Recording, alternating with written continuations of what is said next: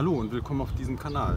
Ähm, viele, die sich eine Handpan kaufen oder kaufen wollen, bekommen irgendwann mal mit, dass es Handpans gibt, die auf 432 Hertz gestimmt sind oder auf 440 Hertz gestimmt sind. Und ja, die einen sagen, schau zu, dass du auf 440 eine bekommst oder schau zu, dass du mittlerweile eine auf 432 bekommst. Also da sind jetzt die Meinungen zum Teil auch gespalten. Manchmal heißt es, ja, schau zu, dass du einen auf 440 bekommst, dann kannst du mit mir spielen. Also dann macht es vielleicht auch schon nochmal größeren Sinn, wenn man mit irgendjemandem zusammenspielen möchte, muss die Handpan auf jeden Fall in derselben, ähm, denselben Kammerton haben, so nennt sich das Ganze, wie die zweite Handpan, sonst hört es sich wirklich grausam an. Das heißt, wollen mehr als zwei Leute miteinander spielen, müssen alle auf, derselben, auf demselben Kammerton abgestimmt sein, nämlich zum Beispiel entweder 432 Hertz oder 440 Hertz. Sonst funktioniert das Ganze nicht und äh, eure Zuhörer werden weglaufen. Aber jetzt kommt noch mal eine allgemeine Information. Bei den normalen Handpan-Spielern und Spielerinnen kommt es eher, ich würde mal sagen, selten vor, dass man zusammen spielen möchte oder das tut. Insofern kann man fast am Beginn ja, sagen, ich hoffe, äh, ich gehe jetzt nicht zu weit, ähm, dass man sagt, ob 432 oder 440 ist für die erste Handpan jetzt fast mal wurscht. Ähm, die Handpan soll euch gefallen, sie soll euch vom Ton gefallen, sie soll euch gefallen, wenn ihr sie spielt.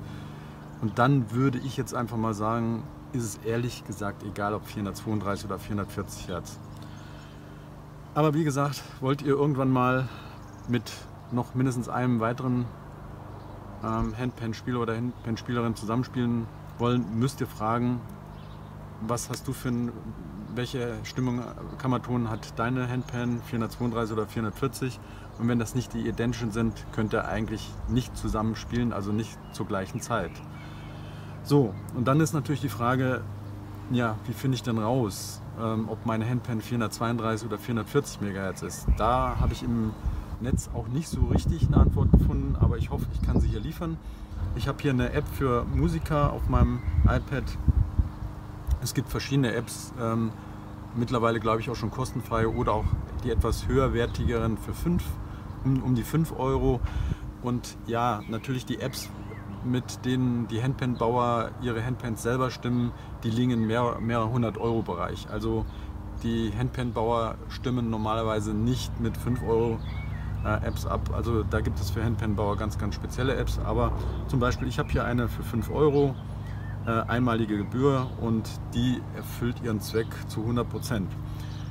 Ich hoffe, man sieht es hier. Ähm, ich halte es immer noch ein bisschen in die Kamera rein. Ähm, ich habe jetzt auf 440 Hertz gestellt und kann hier zum Beispiel mal runtergehen auf 432 weil ich jetzt momentan zum Beispiel nicht weiß, ist es eine 432 oder ein 440er und spiele einfach mal den ersten Ton an. Und wenn der Zeiger hier auf der Null ist, bis hier in, in den kleinen Grenzbereichen, wo die kleinen Pfeile sind, dann ist der Ton rein oder sauber, dann ist er im Toleranzbereich, ist er außerhalb der Markierung, ist der Ton noch nicht sauber. So, und ich, äh, da kam gerade ein Vogel durchgeflogen. Ähm, ich äh, spiele jetzt mal das Ding an und sehe, dass der Zeiger hier hinten rausschlägt.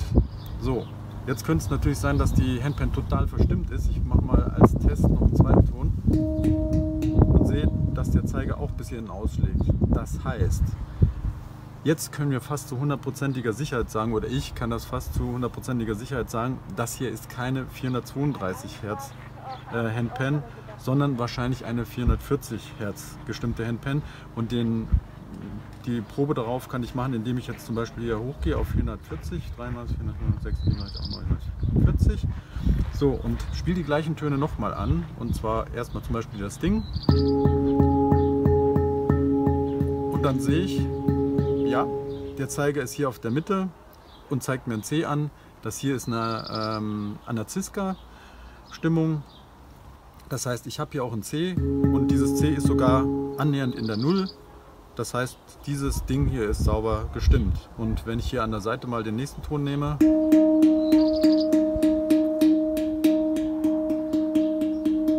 der hält sich auch annähernd in der Null auf.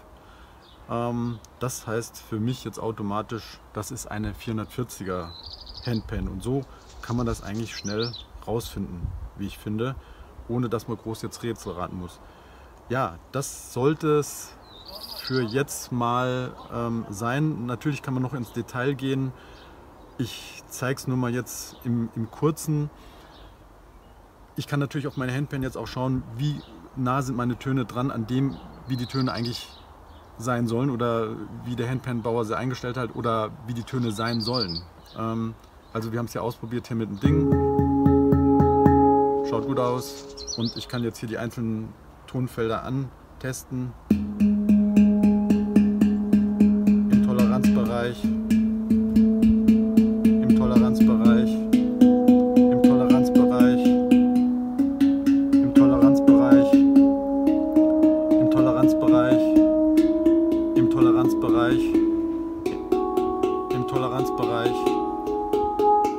Toleranzbereich. Ja, also ich bin bei allen Tönen annähernd null. Das heißt, hier, hier haben wir eine wirklich tolle Handpan ähm, vor uns, die auch wirklich sauber gestimmt ist in den Tonfeldern. Und da muss ich dazu sagen, diese Handpan hat schon ein paar Monate auf dem Buckel und wirklich schon einige Stunden gespielt. Und ich musste diese Handpan noch nie nachstimmen, obwohl ich schon wirklich ganz, ganz viele Stunden damit gespielt habe.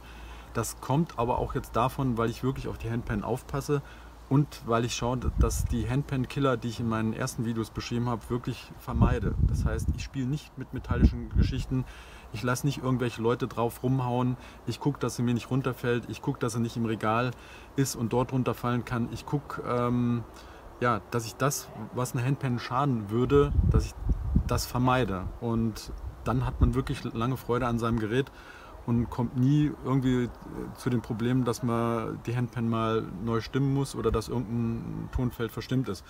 Und ja, wenn ihr euch so eine App kauft für 5 Euro und ihr wollt euch irgendwo eine Handpan kaufen, irgendwo, ähm, leistet so eine App natürlich gute Dienste, um zu gucken, ja, taugt das Gerät was, ist es sauber gestimmt, ist es ähm, noch in dem Toleranzbereich oder hat es den schon verlassen. Ja, das war es erstmal und wie immer könnt ihr den Kanal natürlich liken, wenn ihr wollt, eure Kommentare dazu schreiben.